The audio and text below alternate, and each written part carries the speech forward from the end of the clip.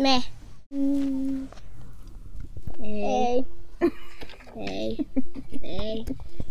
Hei, kerran me unohdettiin se, että kumpi meistä on Tingelstiina ja kumpi meistä on Tangelstiina. Mm. Muistatko? Muistan kerran, mutta muuten ei koskaan kyllä unohdeta yhtään mitään. Et se on, se on vekotiitus, joka unohtelee koko ajan, mutta se oli vain sen yhden kerran.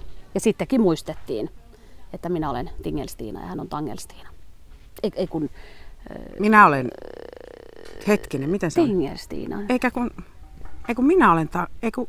Oletko sinä Tangelstiina? Nyt en muista, mikä oli kysymys. Minä harvoin unohdan mitään, mutta kerran unohdin ulpukan. Hakea ulku, ulpukkaa töistä. Mutta ei samanlaisia unohteluja kuin vekotiituksella. Ei, ei todellakaan. Kerran ei. unohdin avaimet kahvinkeittimeen. Kun niitä säilytettiin siellä, että jos varkaita tulee, niin kahvinkeitin on viimeinen paikka, mistä varkaat etsi. Niin lähdin ja laitoin oven lukkoon ja muistin, että ai niin, avaimet on kahvinkeittämässä. Semmoisessa vanhassa vi- velipannussa.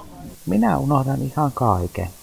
Että yleensä unohtuu kaupassa käynti, siivoaminen, välillä unohtuu joku keksintökin jonnekin ja sitten kun sen löytää, niin en muista enää, että mikä keksintö se on. Voi olla monenlaisia asioita, mitä minä en muista. Nyt esimerkiksi en juuri muista, mitä minun piti sanoa. Hetkinen. Öö, niin, että en muista esimerkiksi sitä, että, että, että mitä minä nyt tänä päivänä olen syönyt.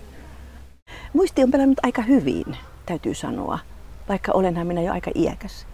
Ainakin 99 jo. Ei uskoisi vain.